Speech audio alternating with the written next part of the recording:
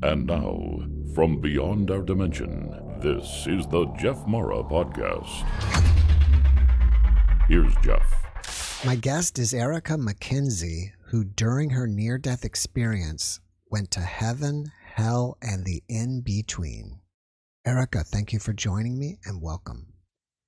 Thank you so much for having me. I really appreciate it. Erica, if you don't mind, let's just start on the day that it happened and go from there. Okay, so the day it happened, oh my gosh. Um, I had been taking a class four narcotic diet pill.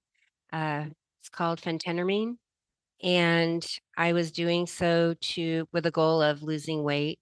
Um, I had this feeling for many years that I didn't fit in, and I was always doing everything I could, people pleaser, um, to try to change that feeling.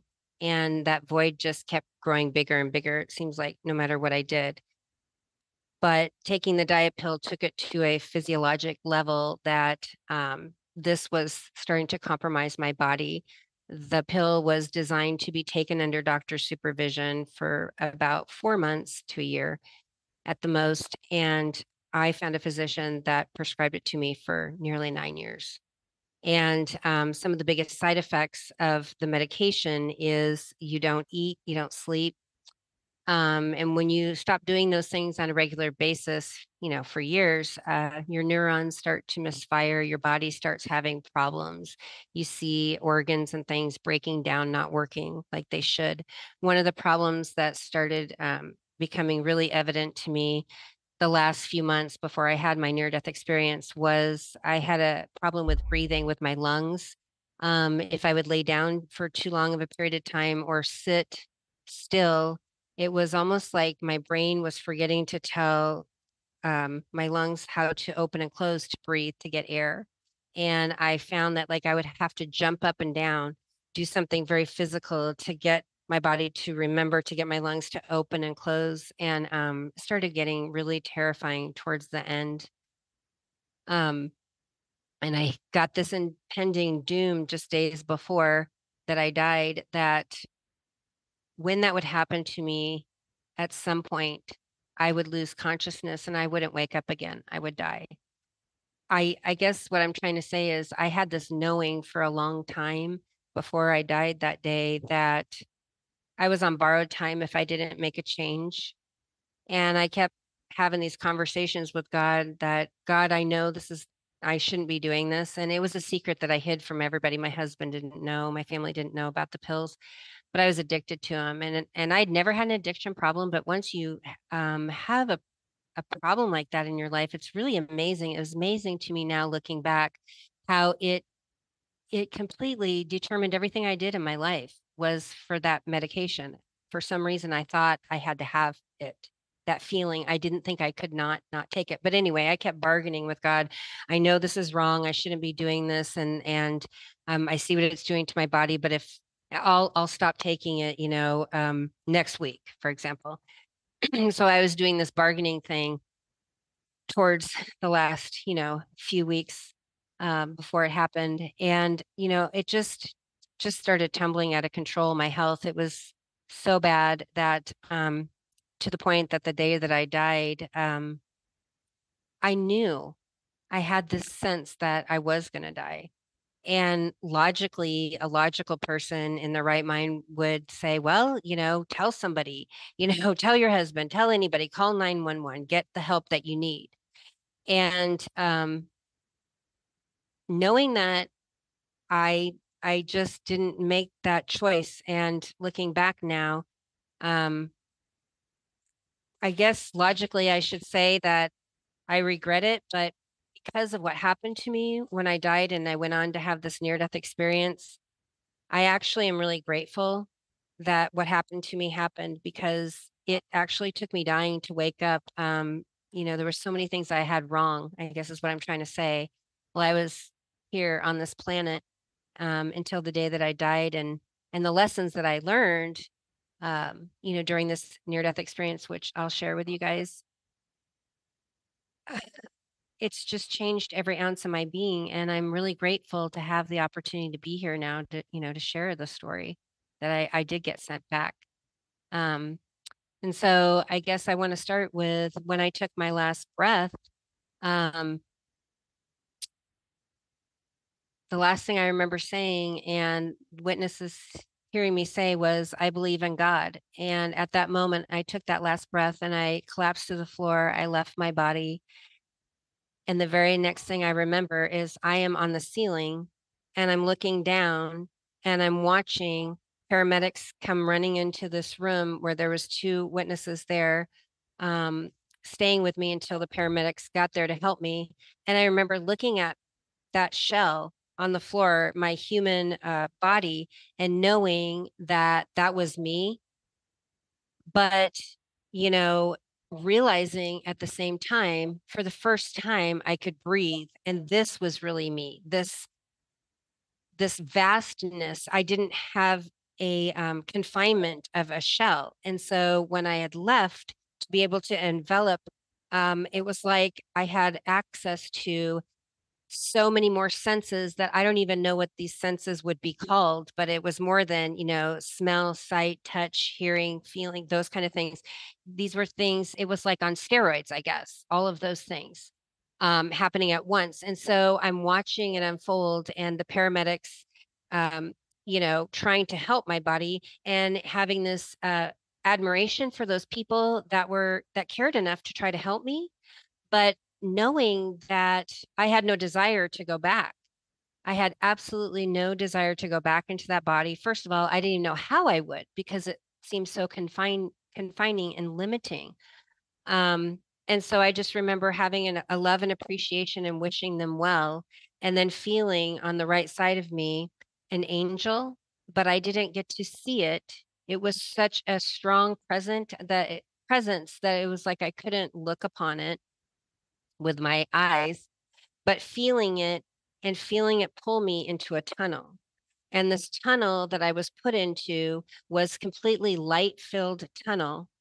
And we started traveling together at a supersonic speed going up.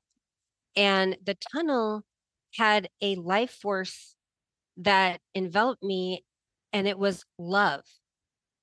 And I knew what it felt like to have and experience love as human but again, um, referring to those um, heightened when your senses are on steroids, and it was love had a life force of itself and it was all through the tunnel and it seemed to be what was perpetuating us and making us actually move that fast was this love life force if you will and this angel stayed with me the whole time and it seemed like you know and that's the other thing is as as i'm talking about my experience um talk about the word time and all i can tell you is that time does not exist when you leave your body or when i left my body um in the way that we know what time is. Humans have made this thing called time and that's what we all live by but it's not like that there. So i was traveling in this tunnel for what felt like years, like a very long time to humans. It was exhilarating. It was wonderful. And honestly, if nothing else happened after that, and I just only had the tunnel experience, that was enough because I got this sense that I was home. I was finally home. I recognized and knew this feeling that was encompassing me. Um, how could I know that when supposedly, you know, I'm just human. I'm here on planet Earth, right? So it was having this knowing of something that you don't remember feeling or being there before. And that I had that feeling of, oh my gosh, I'm going home. So finally, we get to what I see. It looks like the clearing of the end of the tunnel. And it looks like space, you know, the black with all the stars. And growing up in Nebraska in the middle, you know, in the country, not in the city, I was really lucky because I absolutely love the stars. And because there wasn't all the city lights out in the country, you could see so many stars. And I remember getting to that clearing and just being so excited because it was like that, that love that I had of being able to see all of the stars, but I was there with the stars at that point and not just, you know, observing them from such afar. I was in it and the life force that it was, it was so profound. At that point, the angel left my right side and then God was there. I did not see God physically at that time, but I knew that God was with me. It was this knowing that I had since I was a child. Since I was a child, I was raised in a family of, we went to church um, more than once a week, you know, Wednesdays, a lot of times, and Sundays. And so um, God and Jesus were like household family members to me, this relationship that I had. And I had a connection, a very strong connection since I was a child of being able to um, communicate and feel a lot of love with God. And over the years, um, starting at 12 years old, when I was bulimic for 12 years, and then I went on to taking the diet pills, doing those kinds of things to my body the more things that I did like that and focused on mankind and the ego side of mankind and what was important, it was like I was stifling God's voice and that connection that I had as a child. And so it was incredible because it was almost like I had lost that feeling connection until that moment again when I'm in the stars and I'm with God. And I knew it was God because I remembered that feeling and that knowing since I was a child when I didn't live in the ego, I didn't know better. And so it was so profound to me because I was home and I felt so much love, so much love. Like I cannot even, I don't even have human words to give it the magnitude it deserves, but it was, it was more love than I had ever felt and known.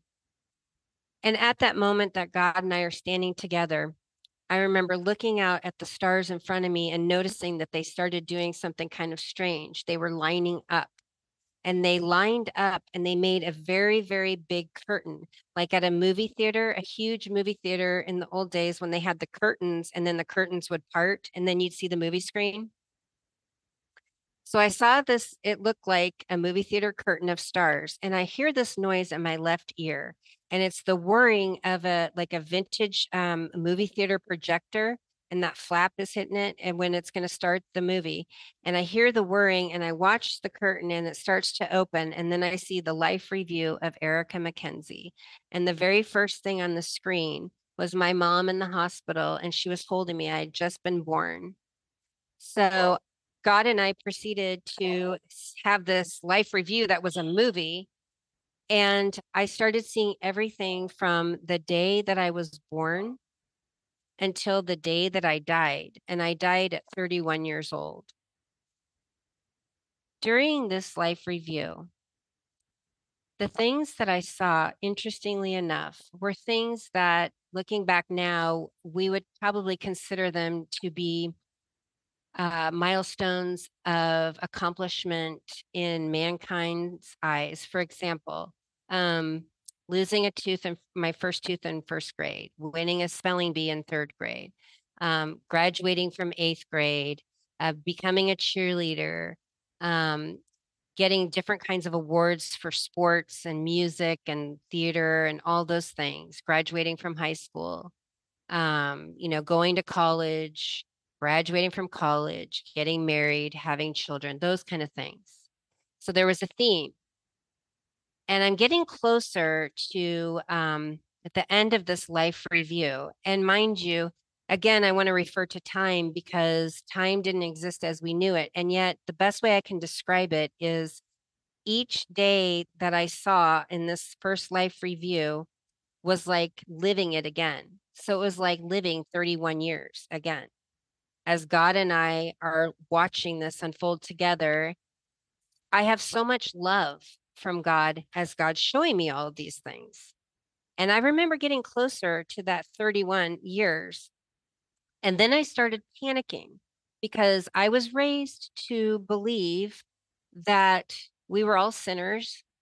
And if you sinned, you know, um, there's a good chance you're going to go to hell and if you don't go to hell you know you're definitely going to have to account for you know your sins and and be punished and those kind of things. And so before i died i was really terrified of dying for that reason because why? Well yeah i was a sinner for sure for sure. I had messed up so much that it was really stressful to me that i i was just sure that when i died you know god would have that lightning bolt and probably just strike it on me and i deserved it. That's what I was raised to to feel. And so having that mindset, even though all of these things that I had seen up to that point were positive, loving, wonderful things, um, I started to have this human moment of panic, sheer and utter terror that, um, oh my God, we're almost to the end. Oh my gosh, why hasn't God shown me any of these things that I know I've done, I've messed up, that are horrible, that are negative? You know, why am I not being punished? Why is he not talking about these things? So I'm having that human feeling. And in that moment, we get to the very end, still didn't see anything negative, And instead, God enveloped and he held me and he filled me with more love than you can even imagine. So much love. There was one point that I thought I was going to completely burst because I didn't know if I could receive any more of this mm-hmm. incredible love.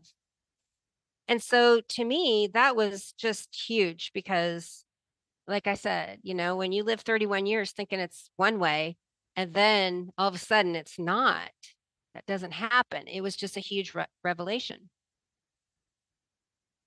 Well, if we were done, I would say that was lessons that, you know, are just enough for a lifetime. But um, what happened next was all of a sudden in front of me appeared a pair of eyeglasses. And at that time, I had never worn glasses. I had perfect vision. And these weren't normal glasses. These eyeglasses were the size of a small vehicle and they were right in front of me. And the way God and I communicated was telepathically. So if I thought a thought, God was replacing it with the answers. I look at those glasses and my thoughts are I knew I was supposed to put them on, but it was impossible because they were so big. And as I'm having that feeling, God replaces it with the answer and says, with him, all things are possible. And as soon as he said that, I felt my hands drawing near to the glasses and grabbing them and pulling them close to my face. And by the time I got them to my face and put them on, they fit me perfectly, just like these. And that in and of itself was just profound because I knew that I was not as big as a, as a small vehicle. Even though I didn't have my human shell, I still had this perception of how my true size, five four, you know, human size. And so that was just so amazing to me. And then God said, Now look. And as soon as he said that, I saw the stars lining up again like a curtain. And I heard that projector noise in my left ear, the whirring again. And I saw the stars part. And then my heart started beating through my chest because I was like, oh my God, now I have God's glasses on now I can see.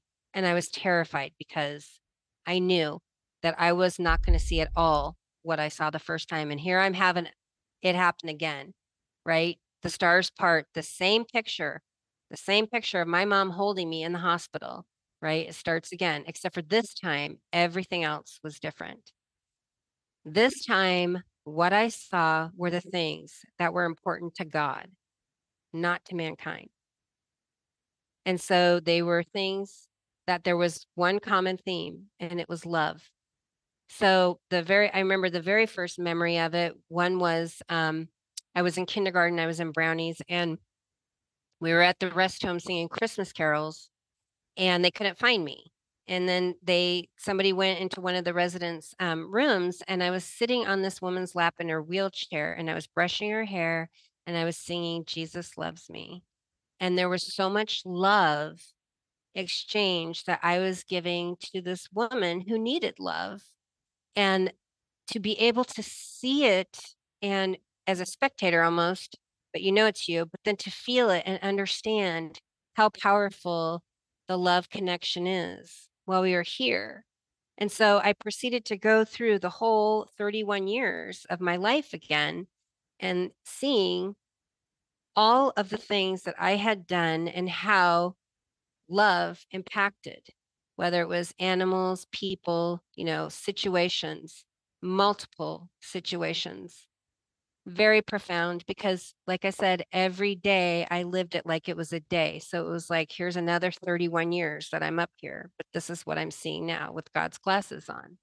And by the time we started getting close to the end, I started having this impending anxiety of feeling of doom, feeling again of the ego human side being um I was raised to believe that I would be have to justify and be punished for my sins. I know I'm a sinner and now I have God's glasses on and he put them on me because also I need to understand how bad I was, you know, is what I'm thinking. This is the human side.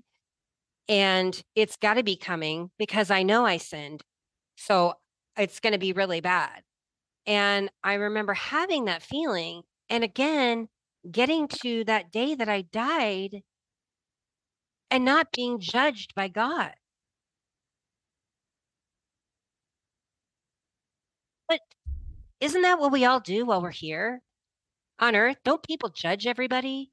Oh, you don't have enough money. Oh, you look like that. You know, I'm going to judge you for that. Whatever. Oh, your opinion is this. Oh, you're a Democrat. Oh, you're Republican. Whatever. I don't care. We know judgment. I will use myself. I was guilty of judging. But I learned in that moment with God's glasses on, and God told me, none of us are qualified to judge. The only qualification that we have while we are here is to love. And if God didn't judge me, then who do I think I am, this lowly human sinner of a being, to be able to have the power to judge myself or anyone else? We don't.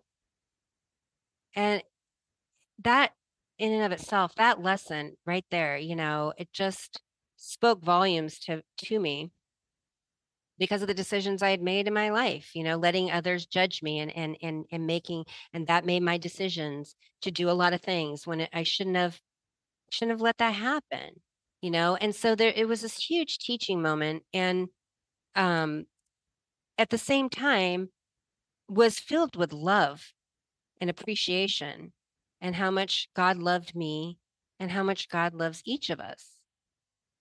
And so we get done with that lesson, and I'm thinking, you know, I'm done and we're going to go into heaven now or whatever, because I am still trying to go over everything that I've learned in these both two life reviews, how significant and important they really were.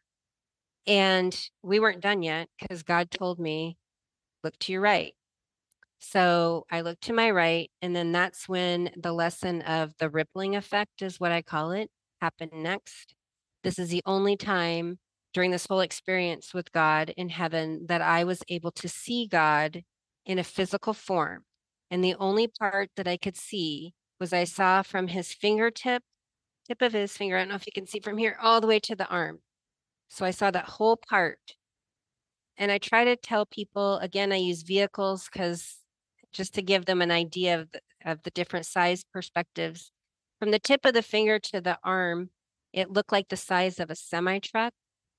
That's how big it was to me. And it was right in front of me. And I could feel the life in his arm. And I'm looking at the palm of his hand. And all of a sudden, in the palm of his hand appears a huge single rock. And that rock was the size of a small vehicle, a small car. And I remember just admiring his hand and this rock, and I knew it was important. And as soon as I was fixated on it, this light being able to shine, it came shined from every orifice of that rock. And it was so blinding that I could barely look upon it.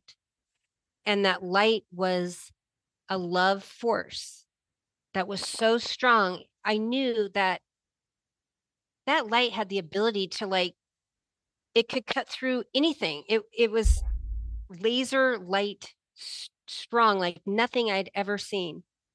And God said, "You are the rock. You are the light.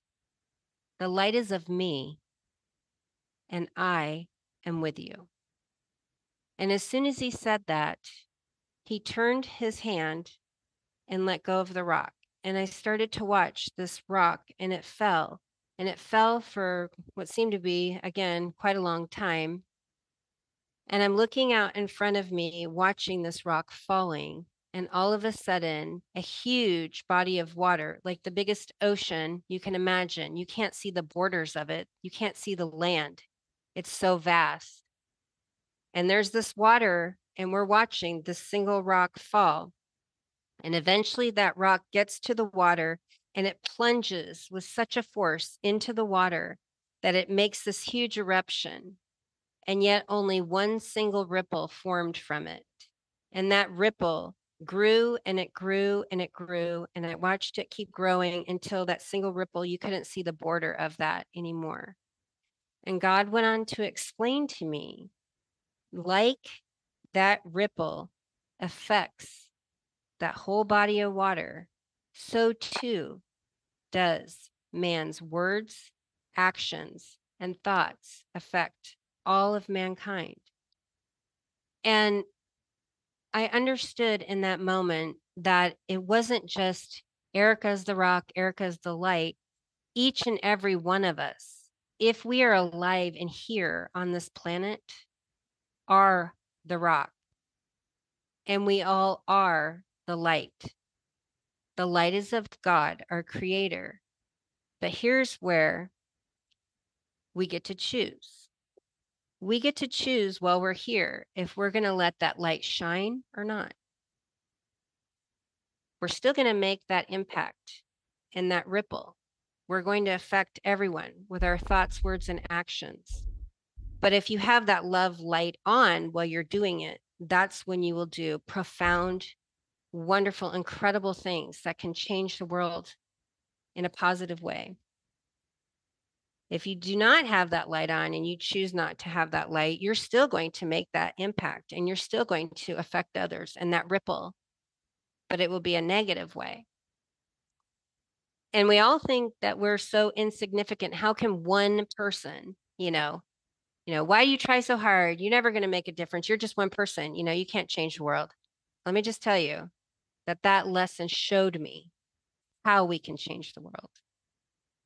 And it's up to us, if we choose to shine that light, to come together with other people and to empower and embrace each other, our differences, and let our light shine together. And then together, we can change things, really change things. And love is the answer. And it was just things that seem like you know it, we should all know it it should all make sense you know we should all just be doing this and everything but i look at my life and and you know the things that i did to end up being there and and having to to learn something that i think i learned i knew coming in as a child and i had stifled and so that was really profound to me and um again i thought okay this is unbelievable. I, you know, I'm trying to go back over this and I just want to make sure that I'm retaining retaining as much as I can because I know it's important. And then God said to look to my right again. And that's when we had the lesson of the gifts. And this time when I'm looking out in front of me in, in the galaxy, there was shelves and they were like glowing luminescent white and they almost took on like they were alive a life force and they were um if I looked down, the shelves went down as far as I my eyes could see into the stars. And when I looked all the way up, shelves kept on going until I couldn't see past the stars. When I looked out in front of me in the galaxy and planets, shelves kept on going. And then I turned behind me and the shelves kept on going. So that's how many shelves and how big it was. And then I remember just looking at these shelves and then at is all at once these presents like gifts at Christmas when you have them under the tree and they're all wrapped filled the shelves. There was not one space available left because they had taken up the space on all of these shelves. And I'm sitting here looking at all of these gifts and noticing that, wow, this is crazy. Like, not one is even remotely the same. How can you have this many, this many, and none, none are the same, not even like a little bit the same, wrapping, nothing. Um, and just feeling that that is just profound in and of itself. How can there be that many? And so God said, When you were born, I gave you gifts. He said, I gave you the gift of patience and I gave you the gift of beauty. And this is where I argued with God, which who does that? But it just came out of my mouth. And I remember cutting God off and saying, No, no, no, no, wait a minute, God. Um, you didn't give me the gift of beauty because I wasn't pretty enough. I wasn't, you know, good enough. All those things that I did was because I was trying to fit in. I was trying to get people to like me. I was trying to be enough and it wasn't. And he stopped me and he said, When you were born, I gave you the gift of patience and I gave you the gift of beauty. And in that moment, I realized for the first time what the gift of beauty really meant. It came from within my heart. It came from within my heart. That's where the beauty was.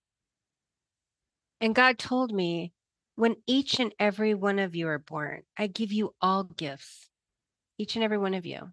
And He said, and do you know what? He said, I actually have more gifts for all of you. And do you know how you get them? And I'm like, oh my God, I have no idea. You know, I'm sitting here looking at all of these gifts on the shelves. And he said, all you have to do is ask. But then you must be quiet and listen to receive them. That was a huge lesson for me. I can't tell you how many times through this whole experience with God that I was told to always make sure that I be quiet and listen. is really going to be important, not just for me, but I find out, you know, for all of us. Um, and so we went on to have this long lesson about how, you know, each and every one of us is unique. We have our own we have our own fingerprints, right? I mean, we know that science has taught us that no one has the same fingerprint. That's vital. Our uniqueness is our value, and our value is our contribution here on our earthly journey. And part of us living our lives is learning about the gifts that we have and the gifts that God wants to still give us and how we get those and how we bring these gifts together and use them on our mission while we're here. And then the bigger, most more important part is how do we take our gifts like a piece, like a big puzzle, and come together with people like you, other people with their gifts and their uniqueness, not stifling them, embracing and empowering them and their uniqueness and bring them together and work together with these gifts and change things because that's how it works and that's how it's designed. It's never designed for the ego driven, oh, it's all about me. I'm going to accomplish this and this and this. We're all missing it. To be able to use it to the magnitude of the blueprints that God has designed and unlock it all, it's all about working together. So it was really it was really profound. And I, it's still hard to put human words to how everything was shown to me, but I can't stress to you enough how I knew it was so important. Um, I was hoping I was staying in heaven, but the other part of me was thinking, gosh, if I if I have to go back, I have to be able to remember how to convey this to other people because this is the answer love is the answer and, and and the way that god is explaining all of this is how to tap in to you know this blueprint and to make all this work and and just feeling like this responsibility of trying to make sure i remember everything um so the only time i was told to look to my left during this experience was for this last lesson that i had and that was the earth and flames is what i call it and God had told me to look to my left. And as I look down to my left and looking out, I see planet Earth. And it was the most incredible thing you would ever know. It's like being right there um, on the earth, but seeing it in a way that we as humans, while we're living here, can't see and appreciate it And I'm just really relishing the fact of how much I have loved the planet and living on the planet and love living as a human and loved being able to have a family. And I remember thinking about, you know, my husband and my children, and my kids were like three and six at the time. So they were little. And I gave up a career when they were little because the most important thing to me, if we could afford to, was I really wanted to stay home and be with my kids. It's just something inside of me that that's what I had always wanted to do was be a mom. And so what kind of a mom would not want to go back to their kids? if that's the most important thing to you, you know? But I came to understand in that moment that there's a bridge and it is very real and it does exist between heaven and earth at all times. And so my kids, my family, everybody that I knew and I loved on earth, even though they were there and I was in heaven, we were together and I could see it for the first time. Not only could I see it, I felt it. It was all through me. And I had this peace and everything was fine. And so I had no desire to physically go back there at the time because I knew for the first time I was home. Where I was was home and that we were together. And someday they would come and be together with me like I was physically left as well. And so I'm having this moment of reflection and this really good feeling. And this is the first time then that I felt sadness, a very profound sadness from God. And as I'm starting to feel this sadness from him, I didn't understand. God, why are you sad? No, everybody's happy. You know, what's wrong? And I remember being told to look again. And I look at the planet and I'm starting to see something moving on it. And some little things are moving all over the whole planet.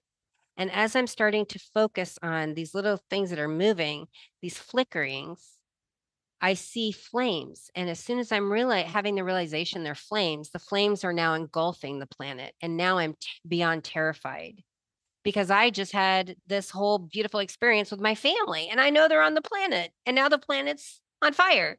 And so I'm freaking out and I'm I'm saying to God, God, help, help.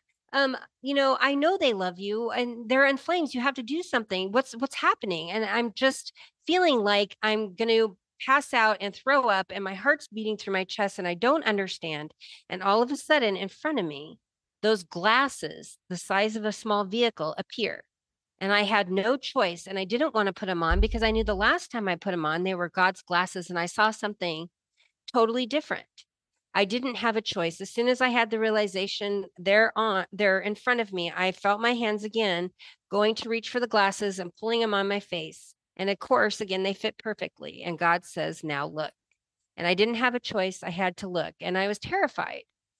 I look and I could see now very clearly in between the flames was these like um mercury, the metal, mercury, it's the viscous, um, you know, it's like liquidy, silvery is the best way I can describe it. Looks like that um consistency and color with luminescence in it, uh, little flickers lifting off of that color in between the flames, unscathed. And I'm looking in even closer so that I can tell what it is. And they're starting to come towards us. The silver stuff is coming towards us. And it's souls, human souls. And they're coming by the droves. They're lifting off from all parts of the earth, unscathed, not hurt from the flames, going past my left and into heaven and I could feel them. And even though I didn't personally know each one of them, I was connected to them. So it was like I had always known them. And it was a love connection that was allowing me to be able to know them. And they were coming in, and I had this great sense of relief that everybody was saved. And I remember God feeling even more sadness the only way I can describe the magnitude of sadness at this point from God was I have um, a friend who lost a son at 26 years old. He was only 26 years old. And as a mother, I love my children more than anything. And I cannot imagine, I cannot imagine having more sadness than if I lost a child. And this is the sadness that I felt from God. But take that times thousands of children he had lost. And I didn't, it wasn't registering with me because I'm still seeing them all coming in. So I'm thinking, it's okay, God. And I say to him, God, like he needs to know, but I'm telling him, like a mom, God, it's okay. Look, look, they're, it's okay. They're all saved. They're coming in. They're going into heaven. See, right, you know, behind us. And God has me look again. And this time, as I'm looking at the planet in the flames, I see the souls that aren't lifting off. Like they're stuck. They just, they're not lifting off. And God says to me, Erica, hand in hand with the gift of life, I give free will. So I came to understand in that moment that what God was telling me was that He loves each and every one of His creation, His children, so much that free will is the gift of being able to let that human choose that love connection or not. Meaning, he's not forcing any of his kids, you will have a love connection with me, you will love me, you know, and everything. That's what free will is the most vital sacrifice of a gift that you could ever give to let them choose.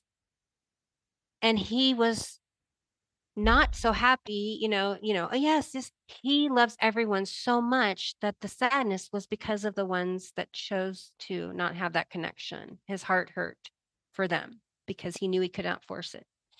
Um and so that was that was the most profound lesson for me is how much how important i mean we think we're so insignificant but everything i learned you know how important each of us are to God, not just some of us, not just 500 of us, but each and every soul. That important. And so after that lesson, it was like I didn't feel like I could handle anymore. I mean, it was like I am so ready to just go and turn and join all the souls and you know be reunited. I know I'm home. Um, this is what I signed up for. Our, uh, you know, I'm just so ready. And I just remember turning and starting to like run into heaven. And for the first time, I was allowed to turn around and see it. And at this time, what I saw was a planet. Heaven was a planet. And that was hard for me because I wasn't raised to ever know it as that. But I again, I'm just telling you what I experienced. That's what it was. And I'm starting to run in there thinking I'm, you know, I'm going to get to go into heaven and our lessons are done for today. And I remember just being froze and I couldn't move. And this is the point. I'm sorry about my dogs. So this was the first time where I could really feel the sense of humor and appreciation that God has you know, being taught that God is just like, you know, I'm, you know, this, this, and this, and I'm going to judge you and everything. But in this moment, God had laughter. So he was laughing with me because, you know, here I am. I'm like, like a kid get running and he stops me and he says, Oh, no, no, no, child. You're not staying you have to complete your mission and your mission is down there and i'm looking and it's the planet and it's engulfed in flames and that's where he's telling me basically i gotta go because i'm not done and i'm thinking that is not even possible at this point because look i mean seriously what am i going back to you know and so i'm having these real human conflicting feelings of emotion you know i'm home and how can i be how can you do this to me, you know, do the, separate me. And he said, Remember, I gave you the gift of patience. I gave you the gift of beauty. But now I want to give you two more gifts before I send you back. I'm going to give you the gift of knowledge and the gift of wisdom. And I want you to be quiet and listen to the people that I put into your life. And then when you speak, you will take patience, beauty, knowledge, and wisdom and you will change millions of people's lives. And before I could even argue with God, I felt like I was being stuffed into a tunnel and out, sent out of heaven and pushed back. And I could feel myself. And this time it was completely opposite of the tunnel that I came up to heaven in. There was no light. There was absolutely no, no light. There was no stars. It was complete darkness. And I felt confined. I felt like I was standing and I couldn't move my arms. I felt confined. I felt alone. I didn't have that love connection feeling like I did in the tunnel going up. I felt like it was very slow. And I felt like at one point I was, it was slowing down. And I was terrified because I was alone. I was absolutely terrified. And I remember thinking, okay, I got to get out of this. I'm like stuck. Like I was to a standstill in nothingness. And I didn't know how to get going to go down again because the sooner I go down, I get to earth and I get to finish my mission and I get to go back to heaven. That's all I could think is I've got to figure this out. What I I don't know what to do. How do I go get moving again? And as soon as I had that thinking, I heard something and it was in the very far distance and it was like um, a buzzing noise like a buzzing noise in my left ear and i thought okay well it's the only sense i have is hearing so i'm going to focus on that and i'm going to figure something out and i've i've got to you know get out of this place. And so the more i started listening to this buzzing noise then it became louder and it was like I don't know if they do it anymore, but when I was growing up in the old days, um, like at midnight or something, when the TV shows were off for the evening, there was like the American flag or whatever, and then they had that it was almost like this white noise on the screen, like. So it went from little buzzing to that, this whole buzzing noise, and it was vibrating. And the more I listened to it, the vibrating became more intense and then the vibrate got so strong that it started pulling me out of this confined tunnel. So it pulled me to the left out of the tunnel. And then I was on my back and I was floating on my back. And it was like this noise was pulling me somewhere, but I couldn't see anything. It was pitch dark. And it's pulling me and it's getting louder and it's getting louder. And all of a sudden, I'm just to a stop again, but this time I'm on my back and I'm just hovering in nothingness. And that buzzing noise becomes garbled, muffling, like if a bunch of people were in a um, a small auditorium and everybody's having a conversation at once so much so it's so loud that you can't even hear your conversation or anybody else's it's so loud it was like muffled noise. And I had this epiphany oh my God, this sounds like people. And as soon as I had that knowing that this is people's voices, all of a sudden beneath me, I could see the light. Light came on, and I could see all of these people in the darkness. And my light was on, my light force, it came on, and they could see me. And as they could see me, and I'm just hovering like just above them, I could feel their hands, all these hands, and they were pulling me down, all of them. And every finger that was laid on me, I knew it was human and their their energy force was taking my life force out. So the more hands that came on me, the the lower I would get down into this crowd. And I knew at that point that if something didn't happen, that I would not have the energy or the life force that I needed to get out. I could just feel them overcoming me. And everything was completely draining and negative. It was um, self, you could feel self loathing. All of the fingers on me, I could feel all of their feelings. And it was hatred you know, anger, self loathing.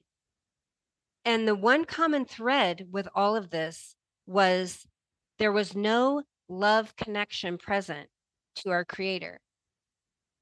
So it was all of these souls, these people. And the only reason why they were grabbing onto me is because my life force had came on. I called out to God in that moment. I cried, please help me, God. I love you. Don't leave me here. And just having that love for God connected me to God again. And I felt reluctantly all of those hands, and it felt like it took forever, but each one of them was taking their hands off me and they couldn't hold me anymore. And I started rising above them again. And I just remember talking to God that whole time and telling God, please, I love you. Don't leave me here. You know, I I I don't want to be here. I love you so much, God. I want to be with you. You know, those kind of things and and it kept making me finally get out of that space and go back slowly to the tunnel that I was in and I and I noticed that when I would even stop to like take a breath for a second I felt myself stop all of a sudden again and I knew that I was going to go right back over into that space and so I just kept talking to God the whole time. And eventually I got into the tunnel and I was stood back up like this and I had my hands at my side again. And I eventually started going back down towards the planet. And it was really exhausting, but it just really showed me through that whole thing of how all I needed, all I needed was that love connection with God. And everything else would be taken care of. But it was so painstaking to go through it. And I think that it was important because it, it, it, if I wouldn't have gone through it like that and felt that, then I wouldn't have understood that that's all that matters is that love connection. And I remember at one point as I'm going back down the tunnel and, you know, Earth was still quite some ways in a distance that I asked God, why are they there?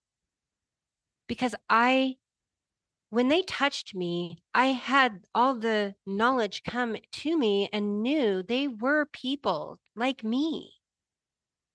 And I didn't understand why did you put them there?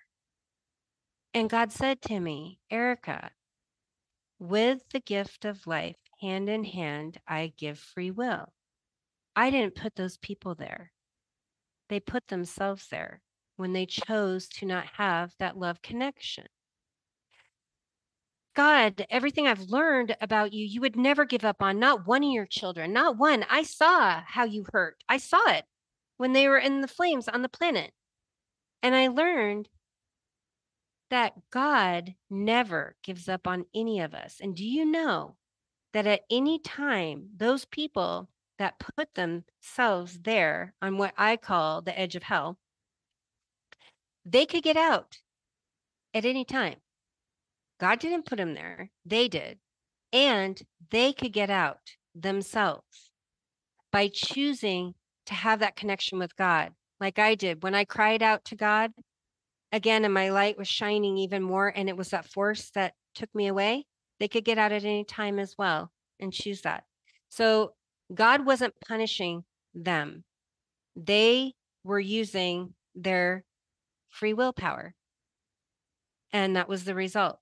And that was important for me to learn because how I learned heaven and hell and everything else worked, you know, in organized religion as a child, that's not what I was shown. And so that was really important to me to to experience that. It was a whole awakening for me. And eventually, um, I did get back down to earth.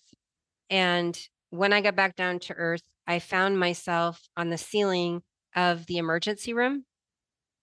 And I was looking at this point at my body, my shell, on a gurney in an emergency room. And my husband was sitting there crying over my body. And I just remember having the realization that what was going to happen next was I was going to have to go into my body and having this panic moment of there's no way, there's no way that I can fit into that body because remember our senses aren't limited when we aren't confined to that body and and to, to feel like you, you know you are so much more than that. And then to see that, it was like, it's never going to work. I mean, I really, I was panicking and I was crying out to God, you know, begging God, don't make me do it. Don't make me go. I can't do it. Please. I thought I could. I know I have a mission to finish, but you know, I, I can't do this, God. I cannot do this. And God said to me, I love you. And with me, all things are possible. And then at that point, I remember just being stuffed back into my body. I didn't have a choice. And I could feel everything filling up my toes, filling up my fingers. Uh, myself was like I was unfolding myself inside of the shell, which was me. And that's when I woke up. So there you go. Erica, thank you for sharing your experience with us. You mentioned that you took a last breath. Was that at one of the times that your brain was not connecting with your lung and you just stopped breathing? Yeah. So the very last breath that I took, um, the people that found me, I ended up being in a, a pastor who wasn't supposed to be working at his office in the church that day. And um, one of his church members um, had found me and brought me to the church. It was just like literally a couple blocks away from where I was. And when I was there and they were helping me, and the pastor had called the paramedics, and he could see he could see it in my eyes and i didn't have an identification on me or anything and i remember him saying to me um, what is your name? I couldn't remember my name. Um, do you have family? Who's your family? Are you married? You know he was trying to help. I couldn't remember anything. I couldn't remember my husband derek. I couldn't his name. I couldn't remember anything to help because what was coming over me at the same time he's trying to be helpful and ask me questions is I could feel one of my lungs already like sticking to itself and not opening. And then I could feel the other one was just like slowly, like a balloon that gets all the helium out of it. That's your air, you know, your lung. And I knew that as soon as that happened on that one, I was out. There was no buying more time, bargaining with God, you know. And I remember I had been sitting in the chair and I it was not me it was a god force that lifted me out of the chair lifted me up so that i could try to desperately i was trying to jump up and down like i had done in the past and almost like restarted things got my circulation going you know breathing again and this time when i jumped up and i said i believe in god that's when i passed out and i left my body. So that was the last breath.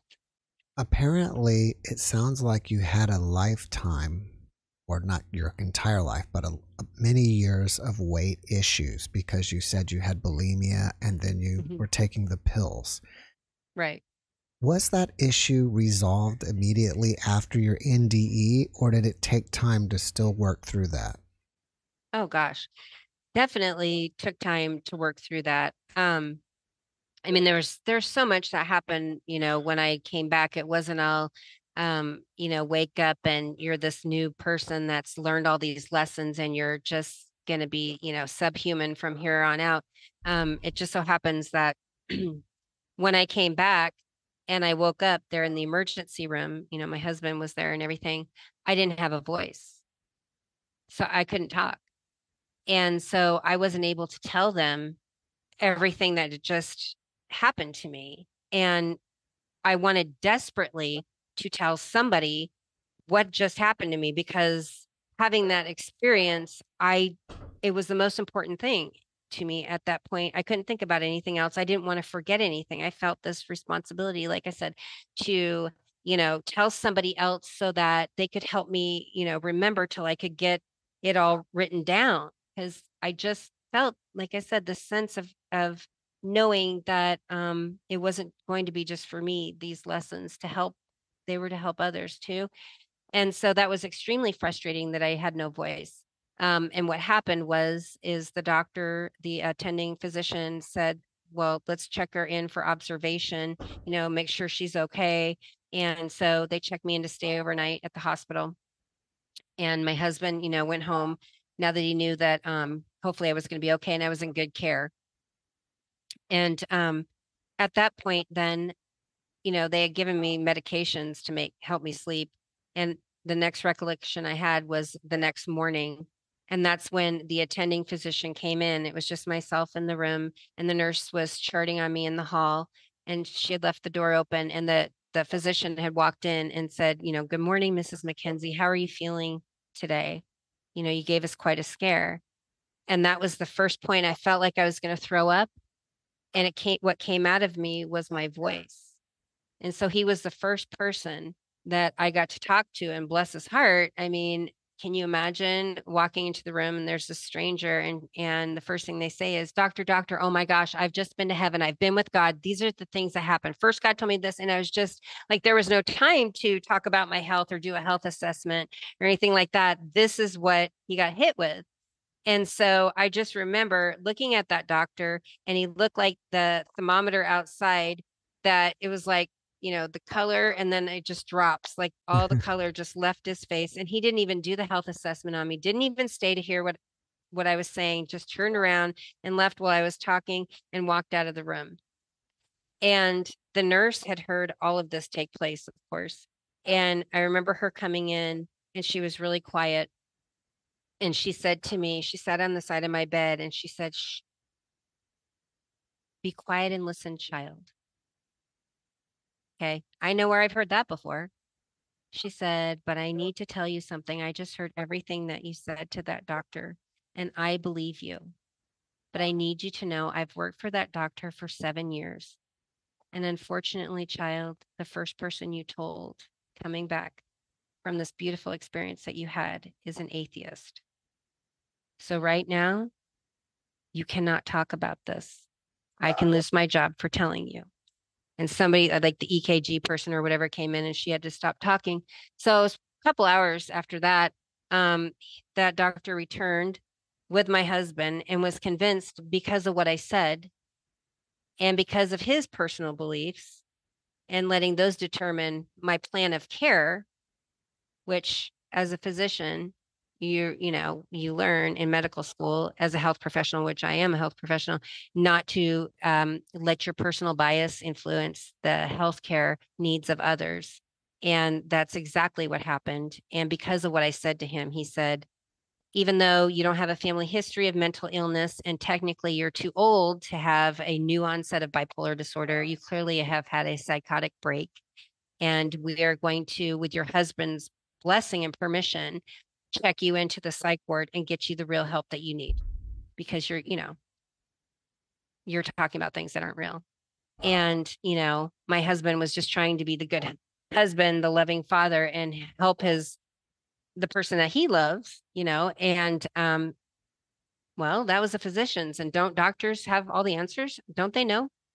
Right? And so a lot of people believe that, you know, they don't ask questions. They don't they just whatever the doctor says that must be the right thing. So um a lot you know there was a lot of lessons to be learned by not just myself but you know my family and and everybody that knew me and how everything ended up unfolding because um you know my husband wanted the best for me. And so he took that doctor's advice and and I was in Kansas City at the time and my husband wanted the best because if that's really what was wrong with me he would spare no expense and he wanted me to get the help I deserved. So they shipped me off to the Mayo Clinic in Rochester, Minnesota, to the psych ward, where I was there for almost a month away from my kids who were just little and really needed their mom at the time, just for sharing that little piece of what happened to me, trying to share that. So, yeah, there was a whole thing of, you know, being on medications that there's a place for medications when you have those diagnoses but if you don't and you take medications uh, you know that you shouldn't um, look what happened to me with the diet pills you know?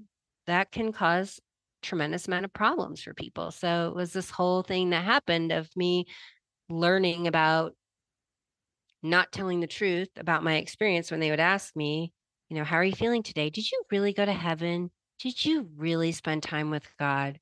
And in the beginning you know i I told the truth. I'm like, yes, this is what happened. They asked me. Well, I learned really quickly. I got on a whole bunch of medications. I was on like eight medicines at one point just for trying to tell the truth of what I experienced. So I learned this learning curve, like that nurse had told me the first day shh, be quiet and listen. Remember, she told me, she tried to warn me. And I learned how I had to deny my experiences because once I started denying it and they believed me, then they titrated my medications down to lower levels, started taking a lot of the medications away. And, you know, finally I got to go home. But once I was home, I knew I wasn't crazy. I knew what happened to me was real, as real as you and I having this conversation today. It happened to me and it happened for a reason. And I should not be on the medications that they sent me home on. And so I didn't tell anybody, but I started to, um, I prayed a lot about it and I just asked God to help me, um, you know, get off the medicines. I knew I wasn't supposed to be on them and I took myself off of them. And um, eventually, like, I don't know, it was probably a few weeks later, maybe almost a month, my husband sat me down one day and he said, You know what? I'm so sorry that you had to go through all of this. And, but you know what? You're back. He goes, I see the real you. You are here. He goes, I love you so much. I'm so proud of you. And I said, Derek, sit down because there's something I need to tell you. I said, I haven't been taking those medicines for weeks. And you're right. I am back.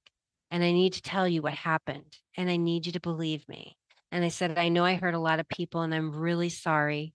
And so then I, you know, I told them the whole thing about the doctor that was prescribing this these medicines to people illegally. By the way, uh, that doctor had to go to jail. She lost her license. She actually, a couple people died under her care, taking the diet pills. It was all about money, right? It wasn't about people's health. And and yes, I'm not saying that I shouldn't be accountable.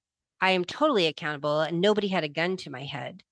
I was addicted to them. They were highly addictive. And yes, I didn't think I could live, you know, without them. I made that choice, but I'm just trying to paint the picture for people to understand, you know, when you're seeing a doctor that moves her practice every so many months and then the last time that we were all seeing her was in a storage unit. She had rented a little storage unit and so you would you know, go in at your time and then she'd pull the thing up and then shut it and pay in cash only. And yeah, and she's dead today. Hmm, And it's wow. probably because, yeah. So there's there's a there's a really long there's many lessons to be learned out of all of this. So yes, it all started with, you know, 12 years old of being told you're not good enough, you don't fit in. And the choices unfortunately that I made. But you know, I tell it because in hopes that if I help one person not make those mistakes that I made and to to know that you're loved. You know, if I could tell people today, each and every one of you are loved just the way you are. Can you imagine that? But to really understand what that means and not to feel like you won't deserve to be loved, you know, if you're not a certain way or whatever. And I just want people to know that everything that I went through, it helps me to understand how true that is. We are just really each loved very much. So, and God wants a love connection with all of us. Since you called the other side home, what do you call where we live now? I know. Um, so this is Earth School. That's what I call it. I'm not saying she says it's Earth School. Everybody has to say it's Earth School. I'm saying in my heart, I know it now to be Earth School. And I know it now to be that I am here to learn. And again, as long as I am here in this human body on this planet breathing, my job is to learn. Now, you also mentioned that you have a mission. Have you discovered what that is? My mission is to love.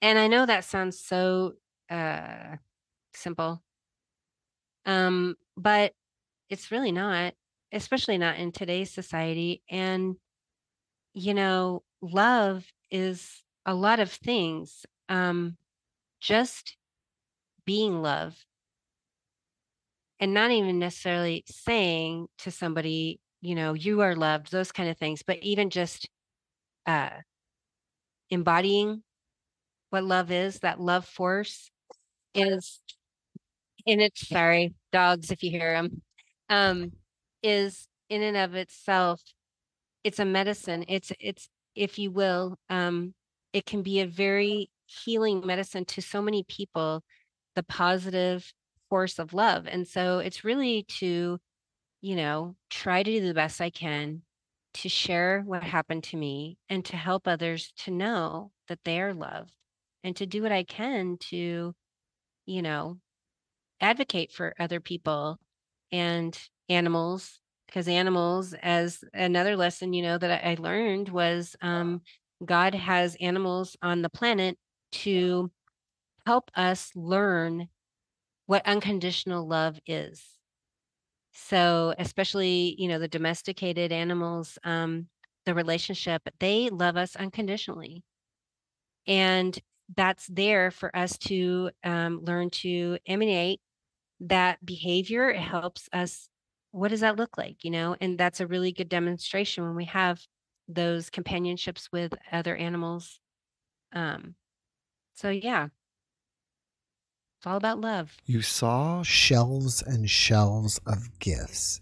Do you recall what some of the other gifts were that were available to people? oh gosh. Okay there are so many. I, i'll give you one example. Um when we're having the lesson of gifts um shane martin was shown to me and shane martin was one of my classmates and um growing up i had dyslexia i had learning disabilities and he was one of the smartest people i had ever met and it's like I, I would remember I would rub Shane's head like in fifth grade and teasing on the playground, like, I know I'm going to get some of your smarts if I just rub your head hard enough, right?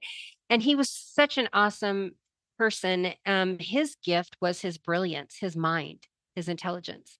And um, I remember being shown again how there was one point where I would go to Shane's house a lot of times after school, and his mom would make us a snack and we'd watch Flintstones, and then he'd help me with my math homework because with dyslexia, you know, um, numbers and letters and stuff, I would constantly flip flop.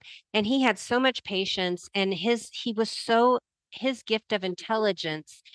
God was just showing me an example of um, a gift that I didn't have, but what a wonderful way to receive the intelligence when Shane shared that with me with love and care that he had for another human and trying to help and how it did help me. I mean, I wouldn't I would have flunked out of math. I would have been in summer school a lot of times if it wasn't for, you know, Shane. And so that was that was one of the examples of, you know, seeing um, another person's gift that I didn't have and seeing the importance that it held in so many facets and how again the reiteration that God said how it's so important when you each have your gifts to come together, right?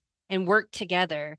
And and that was, you know, a really neat demonstration of just on a very small level of how that that happens. Since you're NDE, have you noticed that you have any new abilities that you didn't have prior? Oh, that's a great question. Um yeah, so prior to my near death experience, we had spoke a little bit before the show and I had briefly shared that um my first recollection was in kindergarten how I had this connection um with God that um like I would get downloads. There were times throughout my life that I would get these downloads and um I would give messages, for example. Um, and there's no way I could know those things.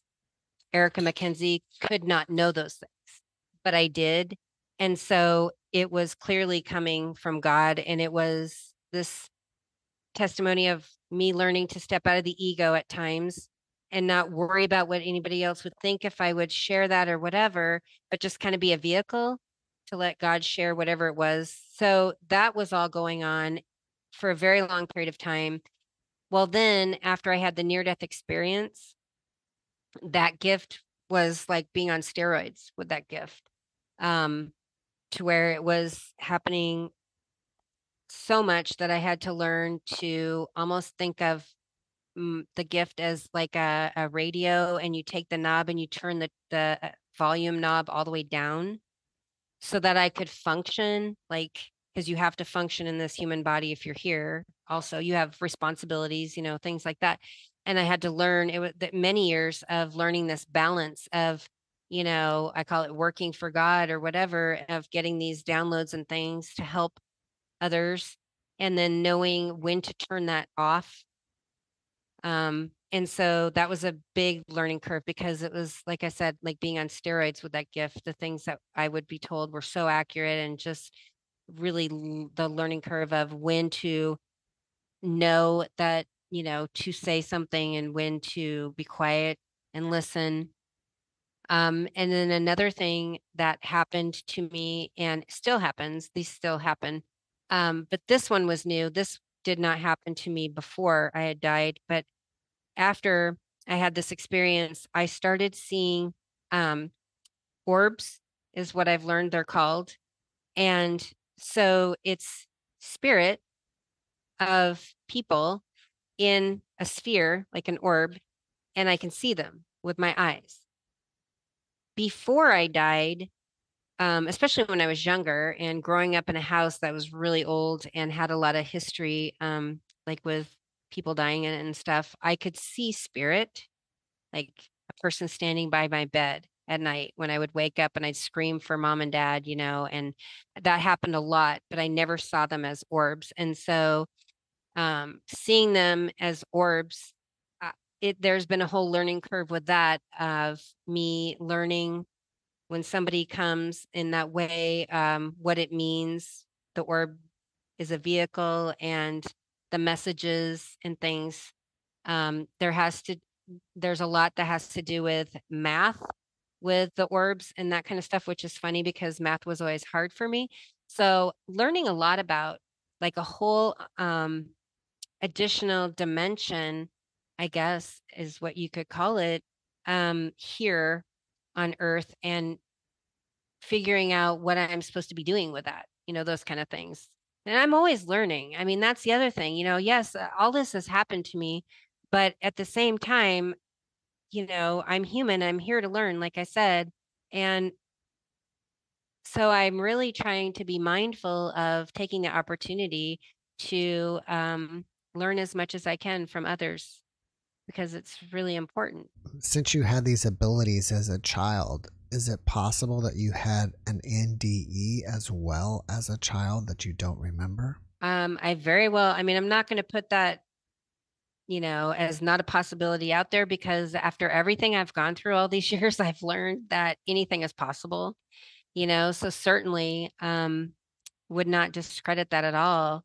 I just think that there's so much that we don't know. And I think that's why it's great again to have a show like this where you have all kinds of backgrounds of experiencers share because I think that when this starts happening on a big level, you know, and we hear all these stories, um, connections start happening and puzzle pieces start getting put together more. And I think more answers are revealed for all of us, is all I can say. So, yeah, I mean, who knows? I definitely probably could have. Um, you know, it's just so profound to me, though, how the other side really isn't on the other side. They're right here with us, you know, in so many tangible ways for all of us. You mentioned that you could build a bridge or something from the other side. Yeah. And do you feel like from there you could still have a connection with your family on this side? Definitely. I definitely think so. Um, you know, it's funny because uh, I'll just use one of my friends again as an example, Virginia Hummel, who she lost her son at tragically at a young age of 26.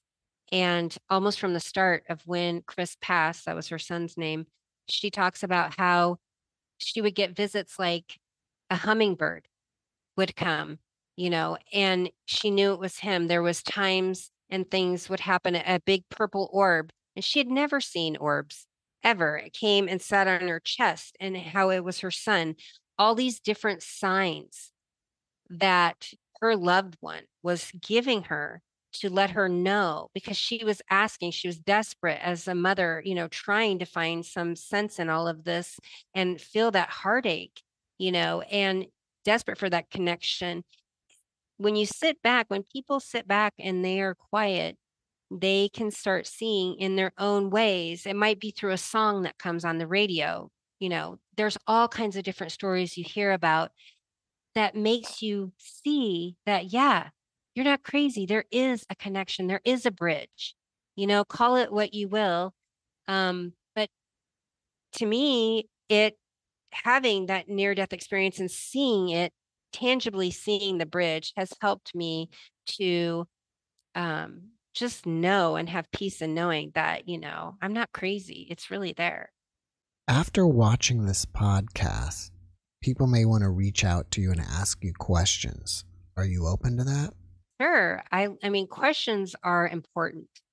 Like I said, um, the only way we're all going to get answers, you know, and and learn is by asking questions. So to me, questions have always been important. And I I ask questions and I'm never going to stop. And I'd love it if, you know, people want to reach out to me. Um, I have a website. That's probably the best way to do that. And it's ericamckenzie.com. And um, they can email me through that if they go through there the first time. And but I will I will warn you the thing is is um I love hearing from people and I have for 20 years, but it's really hard to respond to everybody in a timely manner. So I'm going to say right now, I will do my best because everybody is important and I, I don't want them to be deterred, you know, from reaching out because questions are important for sure. You also have a book. What's the title of it and where can we find it? So my book is called Dying to Fit In. And the best way to get that is to go on Amazon and type in Dying to Fit In. Or I think if you go to books and you type in my name, it might come up that way too. But that's the best way to do it. And my website too has a link um, to Amazon, but otherwise, everybody knows Amazon is pretty easy to remember. So I usually just refer to it like that. In that book, do you only talk about your NDE or do you cover other stuff as well? Oh no. Um well I try it's funny you say that cuz I I definitely talk about other stuff, but I limit it. You know, I just barely briefly touch on um the messages. I give a few examples of messages downloads that I've received for people over the years. Um and I, I briefly talk about the orbs. Um, you know, I talk about briefly a few experiences here and there throughout my life. Um, before I died. Like when I, uh, God told me that my uncle was going to die, and this was back before cell phones. I was little, and you know, orchestrating that whole thing so that um, my family could see him before he had had a, you know, a heart attack, and you know, those kind of things that kind of just help people kind of see the gifts that I've had and and how they've grown, how I've used them, those things. But I really, for this intents and purposes of this book, I, I felt led by God to really um, stick to the NDE and the importance and significance of those lessons that I learned.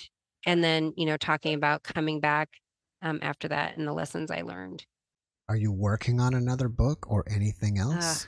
I should be, but again, writing is not my gift because of my dyslexia. Um, I much I would much rather like do things like this, talk about things. Um, I think it flows better. So I I've been asked, you know, to do podcasts and stuff like that. And I I think maybe I might consider something like that if I knew that it would help people, you know, um, because I have a lot to share.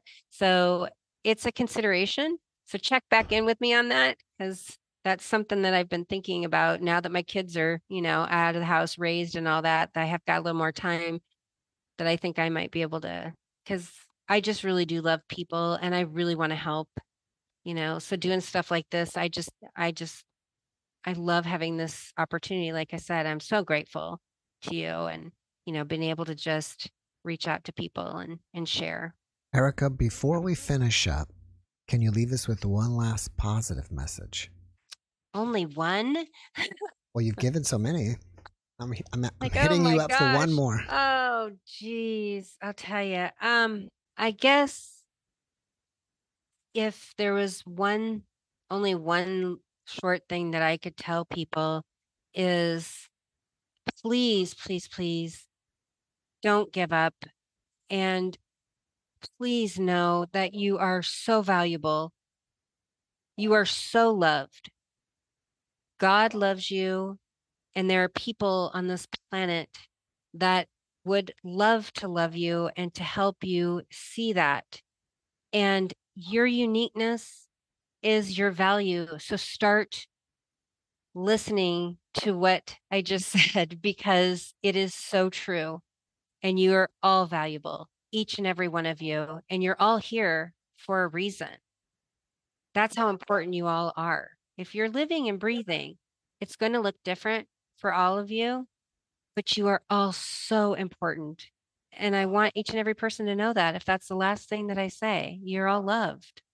Well, thank you for that message. And thank you again for being my guest. Thank you so much for having me and putting up with my dogs. Thank you, everyone, because I know they have been barking a little bit too much. So God bless. Maybe we can do this again. Yeah.